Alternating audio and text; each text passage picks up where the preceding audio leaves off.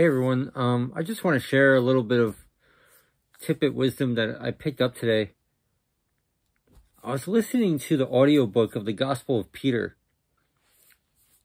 Um, I'm sure you can find it on my YouTube channel pretty easily. It's only about 20 minutes, and most of it's commentary. And when I was listening to it in the car and walking the dog, um, I did gain, you know, I think we got an answer. A lot of people um, ponder and wonder and marvel about why Yeshua said on the cross, you know, why have you forsaken me?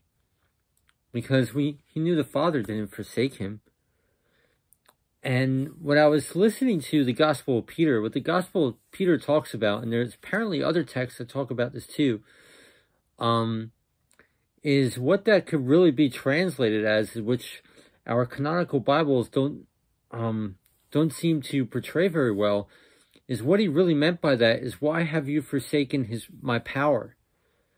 Um, you know the his virtue in him, and that makes perfect sense. Um, because you know we know Yeshua. Why would Yeshua say, "Why have you forsaken me?" when he already knew his destiny and all that stuff. Um, so I just gleaned that bit, bit of information that why have you forsaken me was really, he was really proud, likely he was really talking about the power he had, um, and all that stuff. And, and that just makes sense. So, uh, I think we could probably even read about that in Isaiah 22, like, um, he'll be a fastened nail in a sure place, but on that day, he'll take away that nail, you know, and then he'll be glorified, you know.